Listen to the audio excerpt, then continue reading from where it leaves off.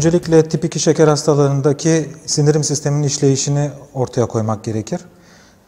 Diyabetik tip 2 şeker hastaları e, sindirim sisteminde e, bir garipleşme sonrası değişik hormonal aktivitelere sahip olmaktadırlar.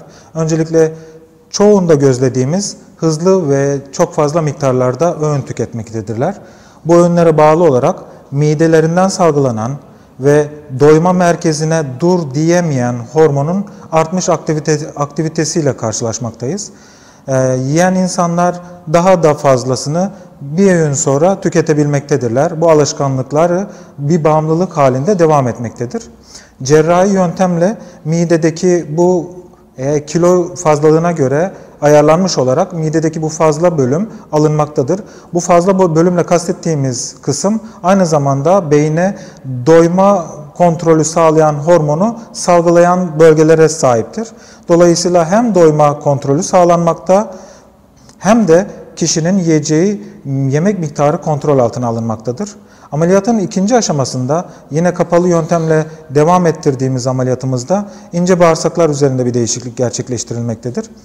Bu ince bağırsak üzerindeki gerçekleştirdiğimiz ıı, yöntemin sebebi ise diyabetik tip 2 şeker hastalarında şöyle bir durum söz konusudur. Hem genetik etkilerle hem de yeni beslenme alışkanlıklarıyla ve bize sunulan son dönem yiyecek çeşitlileriyle, endüstriyel yiyeceklerle birlikte midenin hemen sonrasında e, ince bağırsaklarla temas eden karbonhidratlar ve besinler çok hızlı bir şekilde kan ve dolaşım sistemimize katılmaktadırlar.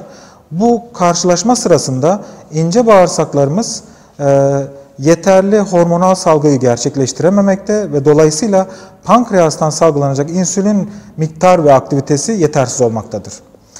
Bu mide çıkışındaki duyarsız hale gelmiş ince bağırsak bölümünün e, daha son bölümlerdeki oradan taşınarak mide çıkışına yerleştirilen e, ileum adı verilen ince bağırsağın henüz duyarsızlaşmamış olması, yiyeceklerle ilk kez bu bölgenin karşılaşmış olması pankreas üzerindeki o yeni duyarlı hormonal aktivite ile birlikte insülin salgılanan miktarı ve aktiviteyi arttırmaktadır. Yeni bir düzenleme ve yenilenme ve e, fresh bir hale gelme söz konusu olmaktadır.